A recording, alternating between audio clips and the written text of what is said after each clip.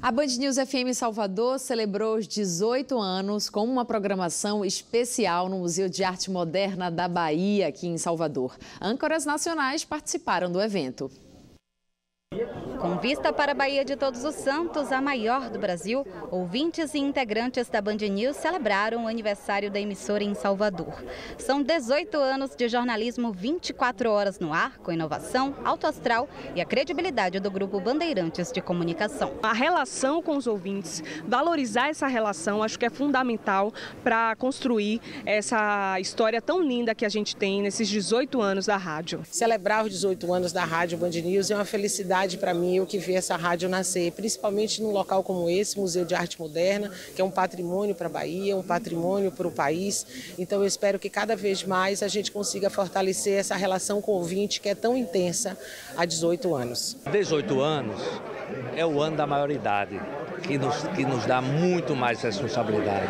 Esse é o nosso, é o nosso propósito, né? entregar sempre aos ouvintes uma notícia apurada, uma notícia checada e 18 anos, na verdade, traz muita felicidade e também muita responsabilidade. Os âncoras nacionais da rádio desembarcaram em Salvador para fazer parte da celebração e apresentaram o jornal Band News em um estúdio montado no Museu de Arte Moderna da Bahia, na Avenida Contorno. Acompanhar a Band News FM, ser parte da Band News FM desse projeto tão vitorioso, é, é ser parte de algo pulsante, emocionante e absolutamente apaixonante e acho que é essa relação que os nossos ouvintes têm com a Band News FM de Salvador. Os nossos ouvintes sempre se lembram do Boechat, é algo que faz parte da nossa vida também.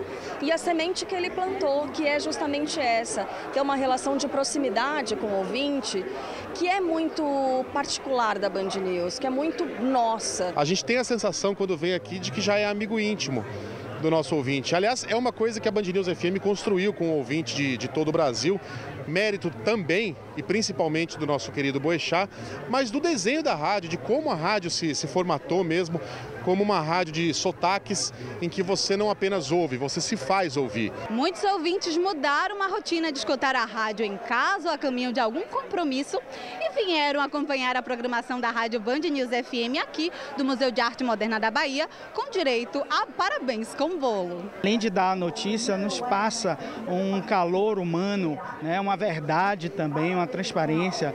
E assim, desde o nascimento de minha filha, que hoje também completa 18 anos, a minha esposa também faz aniversário hoje. Então, a história deles é relacionada com o meu dia a dia. Então, preenche meu dia, me informa e dá esse conforto, né? A minha relação com a Band é de gratidão, de amor, sabe? É como se fosse minha, minha filha porque ela está na maior idade e eu estou na melhor idade. O primeiro bloco afro do Brasil, Mais Belo dos Belos, o Ileaie, deixou a festa ainda mais bonita.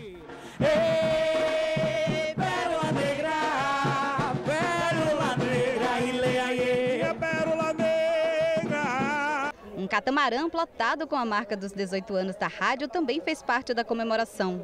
O palco da festa dos 18 anos da Band News não poderia ser diferente.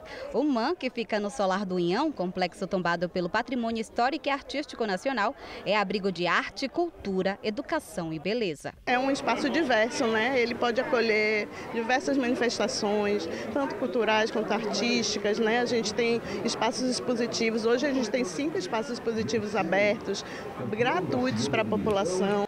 Felicidade.